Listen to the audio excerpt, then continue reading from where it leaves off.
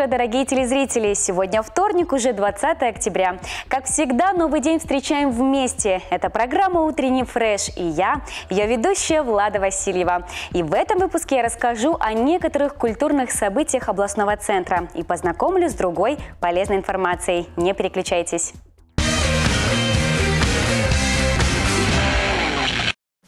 Сегодня на территории Гомельской области прогнозируется переменная облачность без осадков. Днем температура воздуха составит 10 градусов тепла.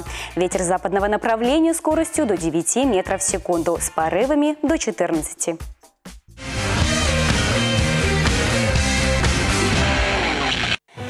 Каждый день хранит в себе важные и незабываемые события. Когда-то был изобретен автомобиль, а когда-то телефон. Важные исторические факты можно отыскать в каждой календарной дате. Ради любопытства и расширения кругозора. И специально для любознательных рассказываем, чем запомнилось 20 октября в истории. В 2004 году был учрежден замечательный праздник, и с тех пор 20 октября человечество отмечает Международный день повара. Инициатива празднования этого дня принадлежала Международной ассоциации кулинаров, которые справедливо решили иметь свой профессиональный праздник. Ведь кто, как не они, по праву заслуживает такую честь. В этот день мы решили для вас, наши телезрители, показать вкуснейший рецепт турецкого блюда на завтрак. Мэнимен – это традиционная турецкая турецкая яичница с помидорами. Именно ее чаще всего подают на завтрак в Турции.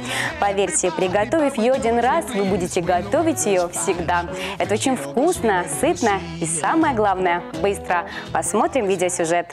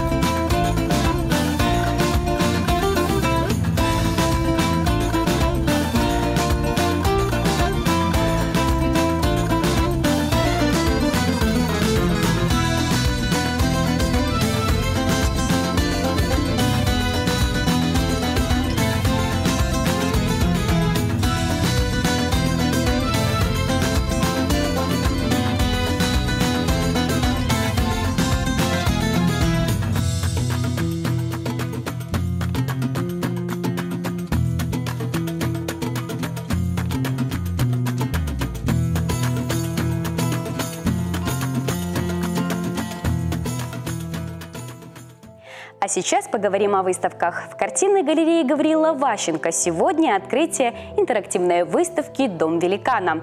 Вы окажетесь в пространстве, где все знакомые предметы увеличены в десятки раз. Диван с размером грузовик, тюбик зубной пасты размером с кровать, а в банку сгущенного молока легко забраться целиком.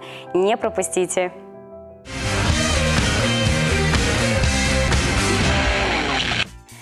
Музей истории печати и фотографии Гомельщины готовит к открытию выставку под названием «Музыка в объективе».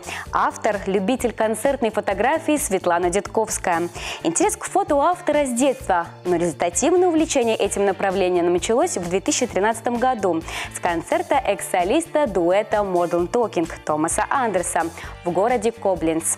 Гости музея увидят снимки, сделанные на концертах в Минске, Москве, Санкт-Петербурге, а также в Германии – Автор всегда старается поймать эмоциональные моменты выступлений. В кадре Томас Андерс, Ани Вески и многие другие.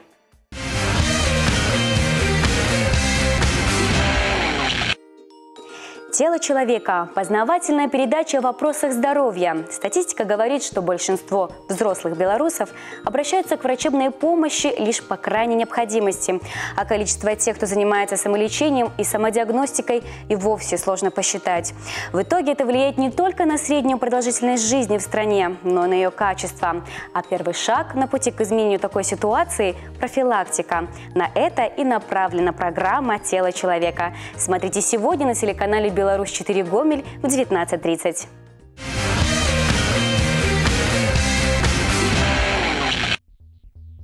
А по вечерам в нашем эфире программа «Добрый вечер, Гомель». Это рассказ о ярких событиях и жизни Гомеля и Гомельской области. Разговор на самые актуальные темы с интересными гостями в студии. Включайте телеканал «Беларусь-4» в 20.25. Не упустите хорошую возможность приятно провести вечер всей семьей у телеэкрана.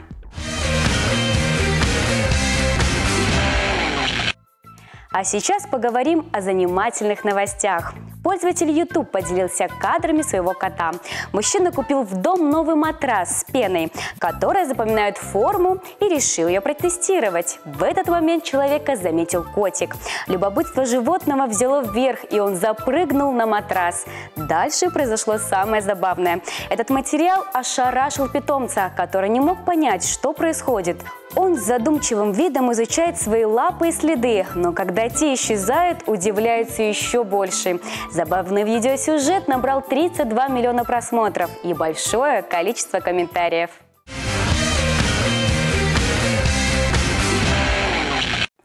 Бытует мнение, что у каждого человека в мире существует семь двойников. Об этом подумал фотограф Джерард Геттингс, который загорелся идеей найти людей и котов, которые будут практически идентичны. Для этого он сделал несколько снимков людей, а после нашел похожих котиков – и это получилось слишком хорошо. Мужчина рассказал, что очень долго проводил кастинг, но в итоге получились невероятные снимки. Они вызывают у всех теплые чувства, а некоторые кадры без труда заставят улыбнуться.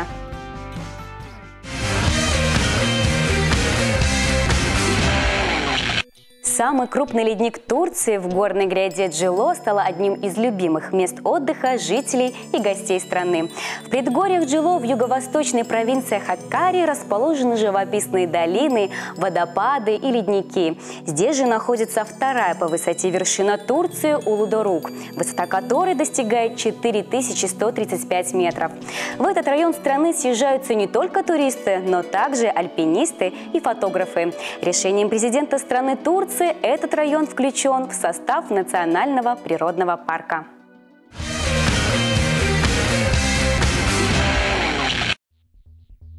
Далее рубрика «Есть вопрос». В этом выпуске адвокат Наталья Тарасова расскажет о медиации для семейных споров, новшества в законодательстве. Прежде всего я хотела бы напомнить, что медиация – это переговоры между конфликтующими или спорящими сторонами с участием независимого посредника, медиатора, с целью достижения взаимоприемлемого решения, то есть того решения, которое устроит обе стороны. Можно применять для разных видов гражданских споров медиацию, но можно сказать, что наиболее актуальна она в семейных спорах. Почему? Потому что это всегда эмоциональный конфликт, э, это всегда отношения. Медиация применяется у нас довольно давно, закон работает о медиации с 2014 года, и практика его применения а, вызвала необходимость а, внесения изменений. Вот какие изменения сейчас внесены в законодательство о медиации. С 1 июля при подаче заявления о расторжении брака либо в органы ЗАГС, либо в суд заявителю или ИСУ будет разъясняться право его воспользоваться возможностью поучаствовать в информационной встрече с медиатором.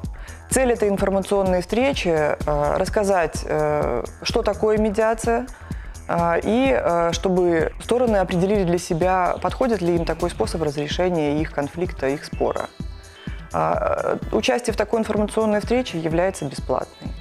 Поэтому стороны ничего не теряют. Вместо того, чтобы идти в суд, воспользоваться возможностью информационной встречи с медиатором и попробовать разрешить конфликт без обращения в суд.